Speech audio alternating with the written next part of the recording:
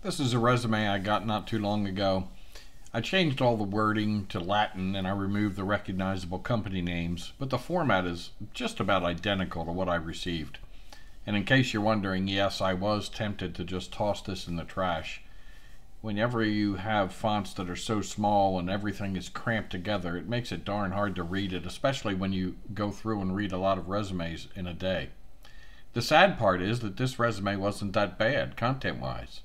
So if your resume looks anything like this, fix it, please.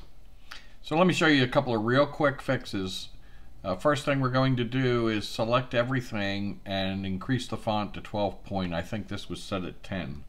So we're going to select, go up here, 12 point, there. Now we're going to hit the title section. So the, the we're going to hit the name and increase it to 14 we're going to hit the work history section, do the same there. This is just for aesthetics and the education.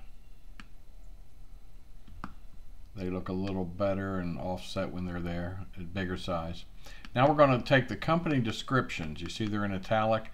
And I, I like to keep those a little bit lower. So let's keep those at 10.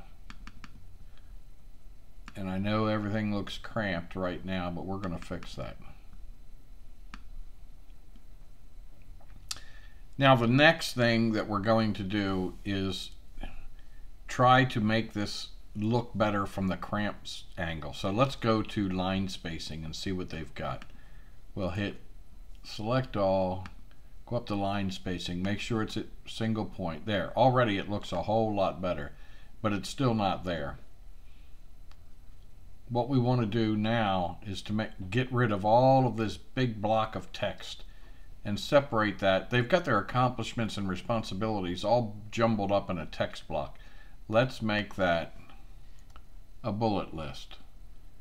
So we're going to just select every one of the accomplishments.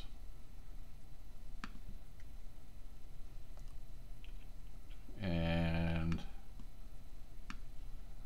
Word makes it pretty easy. You just hit the bullet list. There you've got it. We'll do the same thing down here.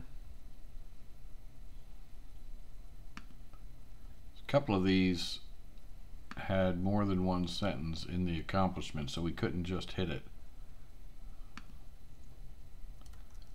And we'll select those. It's looking better. Now, we want to fix the rest of the white space. And this is a, a, part that a lot of people don't know about, but it's actually very simple. So we're going to start up at work history, select it all, and we'll go back up to the line spacing option and go down to options. And when we hit options, we're then going to go to the spacing before and after. I like to do it after. So let's just start it off with Word gives you a few options. You can actually put in anything you want. You can put in two, three, four. I like to actually try it with six. Let's try that and see what it looks like. Now you see how they it's made a space between each of the lines.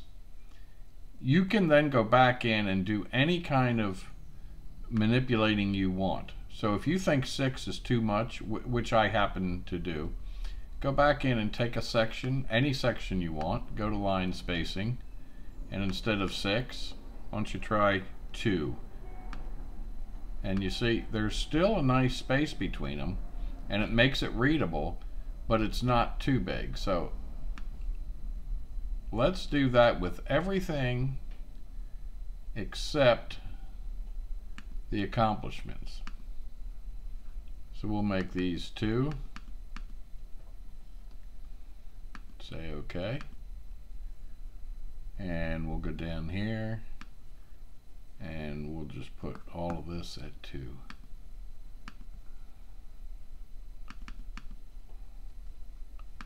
Say OK. Now when you take a look at that resume, it's a whole lot nicer than what we had before. I also would right align these dates, but you can see that on another video I made.